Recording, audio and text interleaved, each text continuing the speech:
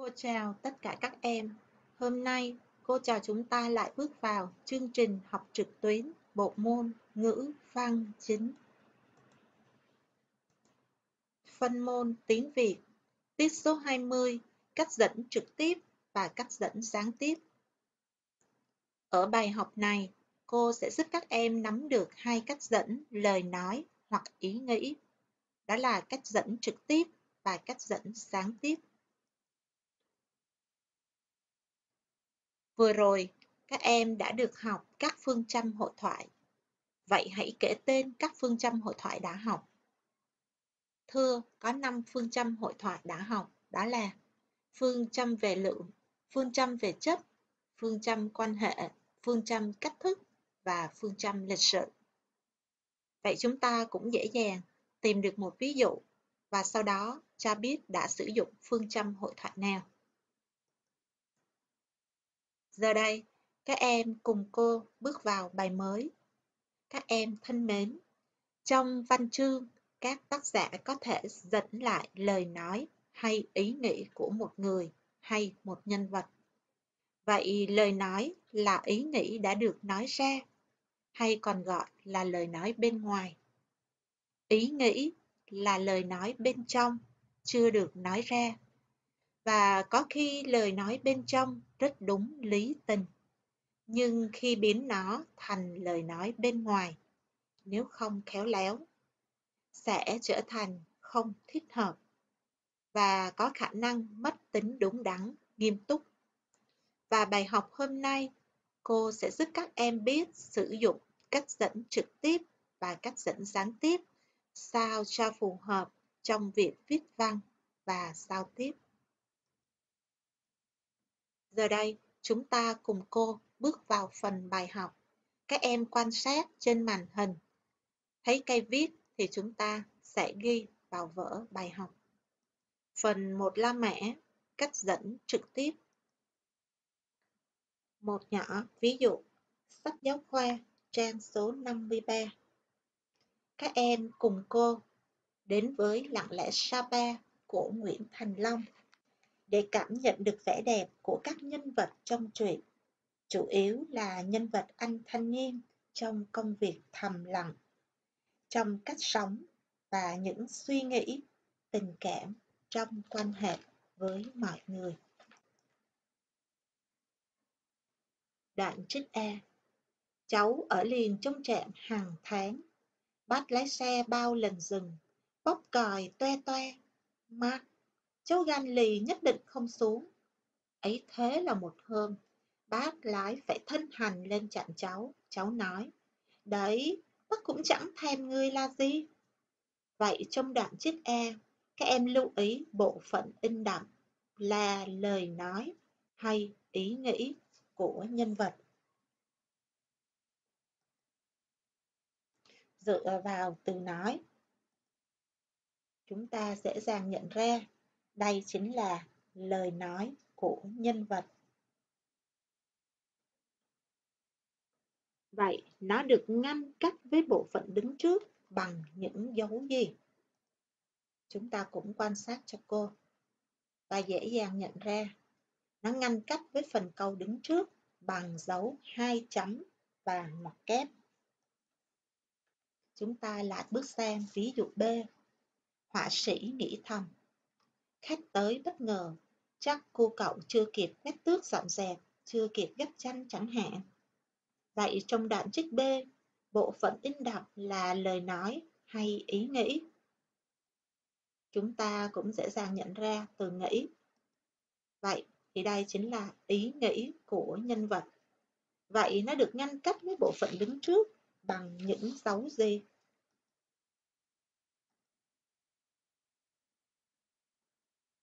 Thơ ngăn cách với câu đứng trước bằng dấu hai chấm và ngoặc kép. Vậy các em quan sát cho cô. Trong cả hai đoạn trích, cô có thể thay đổi vị trí giữa bộ phận in đậm với bộ phận đứng trước nó được không? Và nếu được, thì hai bộ phận ấy sẽ ngăn cách với nhau bằng những dấu gì? À, chúng ta thấy mình có thể thay đổi vị trí của hai bộ phận. Và trong trường hợp ấy, hai bộ phận sẽ ngăn cách với nhau bằng dấu ngoặc kép hoặc là dấu gạch ngang. Ví dụ cô có Khách tới bất ngờ, chắc cô cậu chưa kịp quét tước dọn dẹp, chưa kịp gấp chăn chẳng hạn. Gạch ngang, họa sĩ nghĩ thầm. Rồi chúng ta vừa tìm hiểu xong, đó chính là cách dẫn trực tiếp.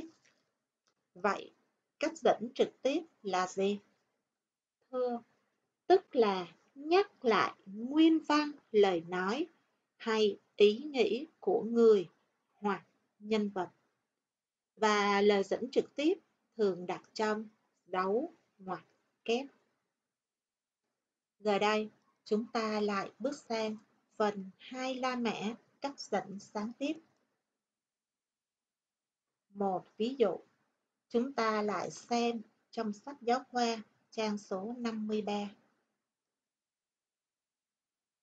Nhân vật lão hạt, một người nông dân chất phát, hiền lành, tự trọng, nhân hậu và rất mực yêu thương con.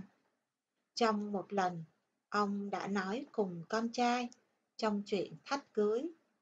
Con rất buồn và ông đã nói như thế nào? Lão tìm lời. Cô xin lỗi. Lão tìm lời lẽ giảng giải cho con trai hiểu. Lão khuyên nó hãy sẵn lòng bỏ đám này, để rồi rắn lại ít lâu, xem có đám nào khác mà nhẹ tiền hơn sẽ liệu. Chẳng lấy đứa này thì lấy đứa khác. Làn này đã chết hết con gái đâu mà sợ. Ở đoạn trích e, bộ phận in đậm là lời nói hay ý nghĩ. Chúng ta thấy có từ khuyên. Vậy đây chính là lời nói của nhân vật.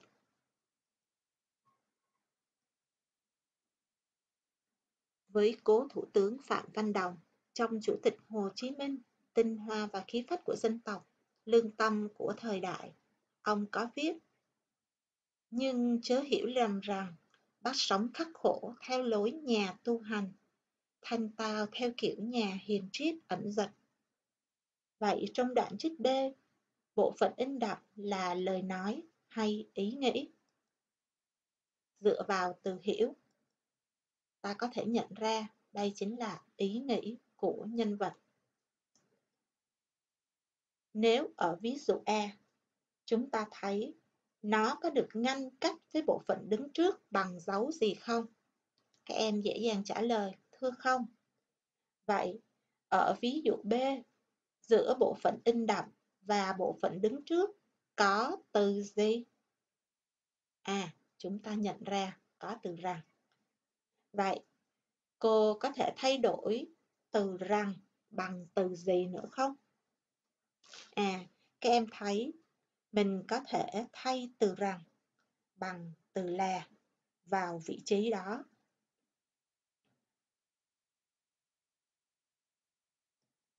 Vậy cách dẫn như trên, ta gọi đó là cách dẫn gián tiếp. Vậy cách dẫn gián tiếp là gì?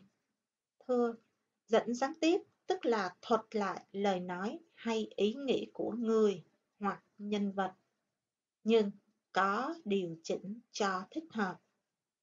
Lời dẫn gián tiếp sẽ không đặt trong dấu ngoặc kép.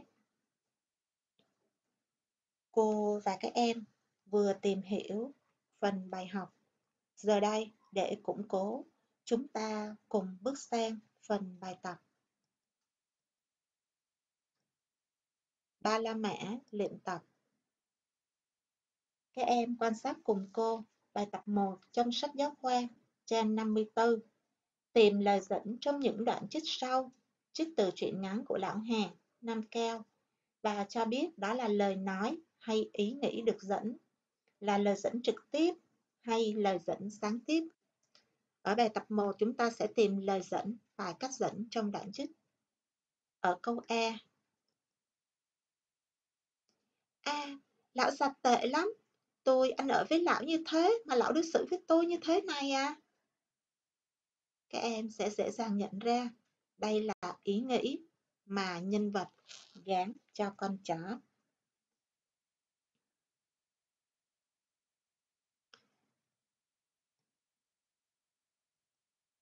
Xem ví dụ B. Sang bài tập B.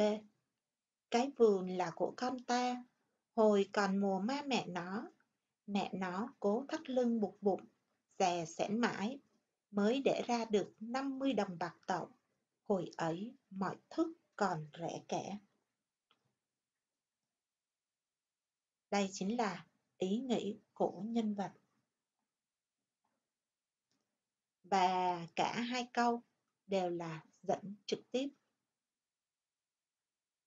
Bài tập 2 Các em sẽ về nhà làm. Giờ đây chúng ta cùng bước sang bài tập 3 trong sách giáo khoa trang số 55. Hãy thuật lại lời Vũ Nương trong đoạn trích sau đây theo cách dẫn sáng tiếp. Để làm bài tập 3 này, các em thấy mục đích của bài tập này là chuyển lời dẫn trực tiếp thành lời dẫn gián tiếp trong một tình huống cho sẵn với số lượng người tham gia có thể gây nhầm lẫn. Do vậy, để thực hiện bài tập này có hiệu quả, các em cần lưu ý các điểm sau đây. Thứ nhất, phân biệt rõ lời thoại là của ai đang nói với ai. Trong lời thoại đó có phần nào mà người nghe cần chuyển đến với người thứ ba và người thứ ba đó là ai. Do vậy các em sẽ dễ dàng nhận ra những từ ngữ thích hợp để làm rõ mạch ý của câu.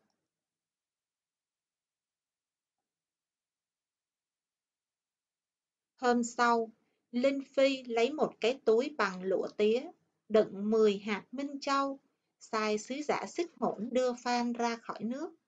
Vũ Nương nhân đó cũng đưa gửi một chiếc hoa vàng và dặn Phan nói hộ với chàng Trương rằng nếu chàng còn nhớ chút tình xưa nghĩa cũ thì xin lập một đàn giải oan ở bến sông, đốt cây đèn thần chiếu xuống nước, Vũ Nương sẽ trở về. Cô đã thay và thêm một số từ. Các em có thể quan sát thêm. Chúng ta vừa tìm hiểu. Giờ đây, để khắc sâu thêm, cô và các em cùng nghe một câu chuyện cười. Hai người lính cùng bị đối phương truy tìm. Một anh chạy nấp ở bờ mương, một anh nấp ở đống rơm. Anh nấp ở bờ mương nghĩ rằng, dù anh ta có bị phát hiện và có phải chết, thì cũng đành chịu, chứ nhất định không khai anh bạn đang nấp ở đống rơm. Khi anh ta bị đối phương phát hiện, anh liền hô to. Ta thà chết chứ nhất định không khai anh bạn đang nấp ở đống rơm. À, vậy thì chúng ta thấy qua câu chuyện này, lời nói bên trong và lời nói bên ngoài tuy giống nhau về nội dung, nhưng vẫn rất khác nhau về tác dụng thực tế. Và kinh nghiệm sống cũng cho ta thấy rằng ý nghĩ trong đầu và lời nói ra có thể không hoàn toàn đồng nhất.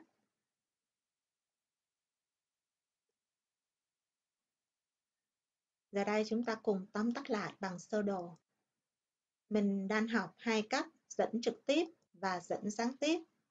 Vậy chúng ta thấy cả hai cách này có điểm khác nhau, đó là nếu dẫn trực tiếp là dẫn nguyên văn và đặt trong dấu ngoặc kép, thì dẫn gián tiếp là thuật lại có điều chỉnh và không đặt trong dấu ngoặc kép. Nhưng cả hai cách dẫn trực tiếp và dẫn gián tiếp đều có điểm giống nhau.